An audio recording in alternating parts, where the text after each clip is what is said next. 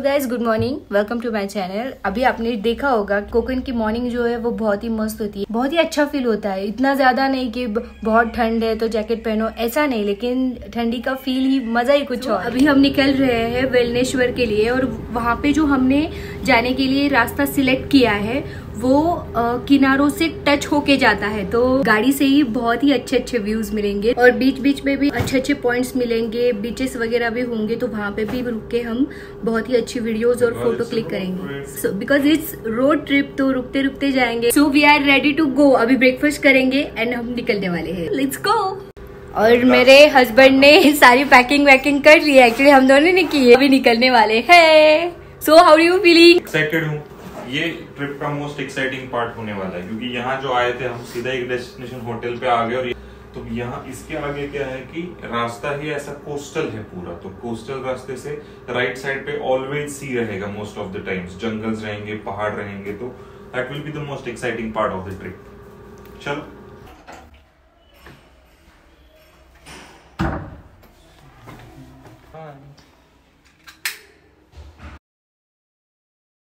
Had our breakfast अभी कुछ काम है हमें दापोली सिटी में कुछ जेरोक्सेस वगैरह निकालने हैं डॉक्यूमेंट्स के। वो होने के बाद हम निकलेंगे। दो तीन बीच है बीच में। दाभोल का बीच है वो सारे बीचेस करते करते व्यूज़ देखते देखते हमें वेलनेश्वर पहुँचना है जो हमारा नेक्स्ट स्टॉप है। तो ये तीन घंटे का सफ़र है लेकिन हमें उसको पाँच चार पाँच घंटे में छः घंटे में जितना भी अभी जाके सोना वेलनेश्वर में है और इवनिंग वहाँ बितानी है लेकिन फिर ड्यूरिंग द डे जहाँ भी कुछ हमें मिलेगा अच्छा अच्छा पॉइंट्स देखते देखते दो तीन घंटे का ट्रैवल हमें छः सात घंटे में ख़त्म करना है।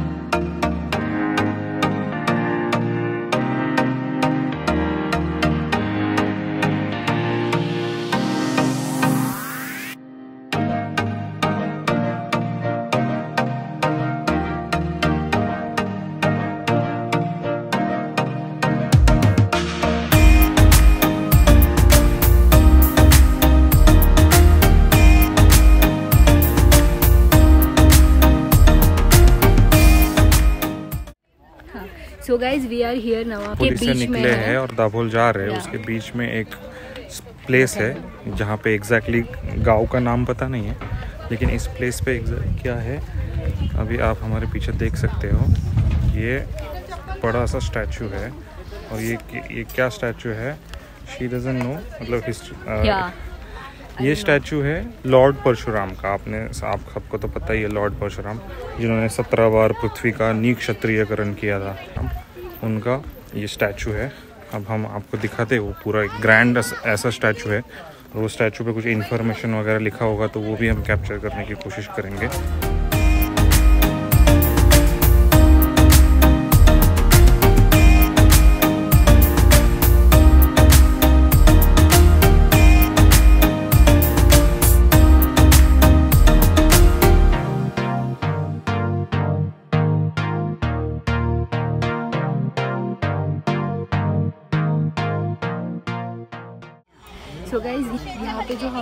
रुके हैं। यहाँ से व्यू जो है, बहुत ही ब्यूटीफुल व्यू है।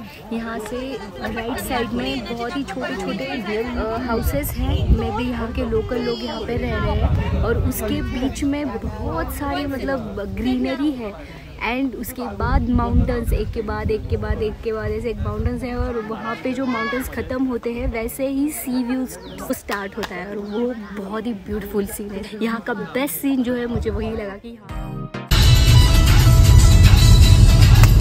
ऐसे रास्तों से जा रहे हैं, इसका मतलब हम कोकन में हैं। इतनी ग्रीनरी कहीं मिलेगी नहीं आपको बाकी महाराष्ट्र में। जितनी कोकन में है उतनी।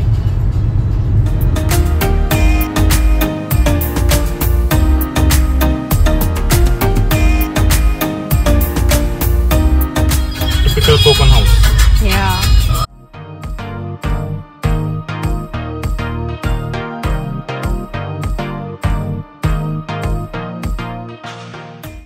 हमारी एडवेंचरस ट्रिप चालू हो रही है क्योंकि हमें लाभोर से वेलनेश्वर तक जाने के लिए कुछ भी रास्ता नहीं है। सो so, यहाँ से बस रास्ता यही है कि हम समुंदर से ही जा सकते हैं पास होके समुंदर को। सो दैट्स वाई अभी मेरे लिए बहुत एडवेंचरस है क्योंकि मैं पानी से बहुत ज़्यादा घबराती हूँ।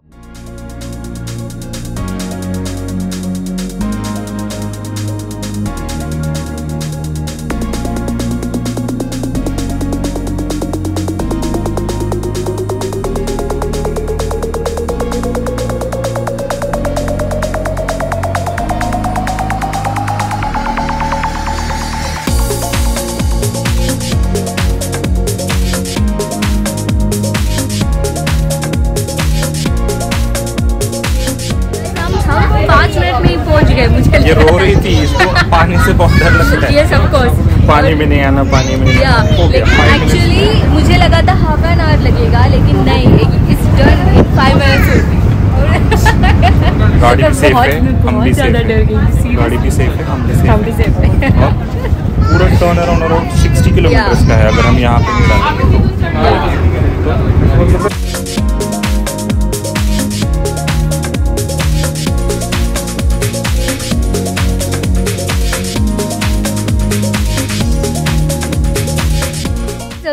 आ गए वेलनेश्वर के एमटीडीसी रिसोर्ट पे और मुझे लगता था कि गवर्नमेंट का है, क्योंकि लास्ट टाइम लास्ट मोमेंट पे हमने बुक किया था तो गवर्नमेंट का है, क्या होगा, कैसे होगा मतलब बहुत सारे क्वेश्चंस थे मेरे मन में, लेकिन इट्स ऑसम awesome. आँखें बंद करके आप लोग इसको बुक कर सकते हो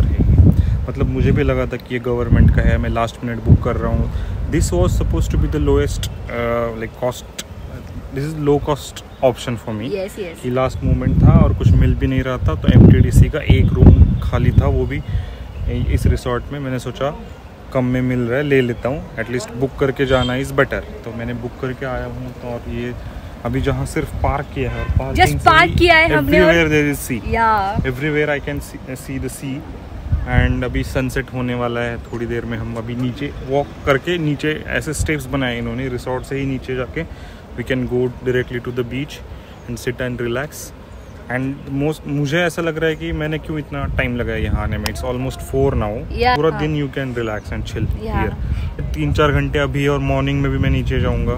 नाइन ए का चेकआउट है मेरा सिर्फ़ वन नाइट स्टे हमारा यहाँ पे। सो so, बट बहुत अच्छा है ये रिसोर्ट आज जल्दी सो के मुझे जल्दी उठना है क्योंकि यहाँ का सी व्यू व्यू जो है वो माय गॉश रूम से डायरेक्टली सी व्यू दिखता है।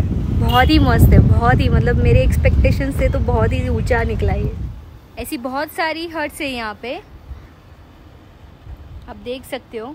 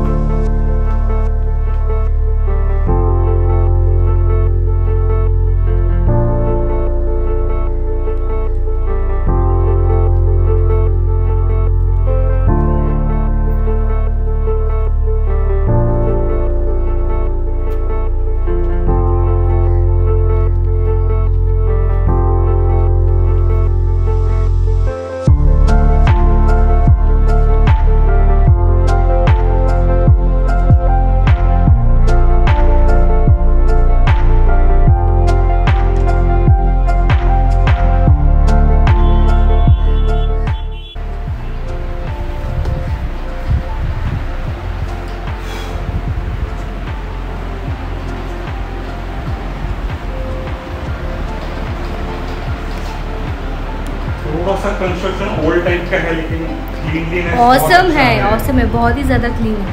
अपन इधर टाइप का बनाया उन्होंने। हाँ। हल्का सा ओल्ड है मतलब दरवाज़ा वगैरह से आपको लगेगा थोड़ा सा ओल्ड लेकिन वेल इक्विप्ड है पूरा। कबर्ड्स वगैरह है।